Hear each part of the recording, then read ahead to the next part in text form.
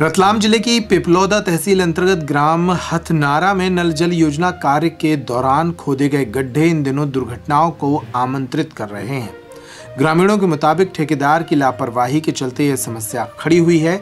बताया गया है कि गड्ढे खोदे जाने के बाद से ना तो सफ़ाई हुई है और ना ही गड्ढों को बंद किया जा रहा है, जिससे कई बार वाहन दुर्घटनाग्रस्त हो चुके हैं।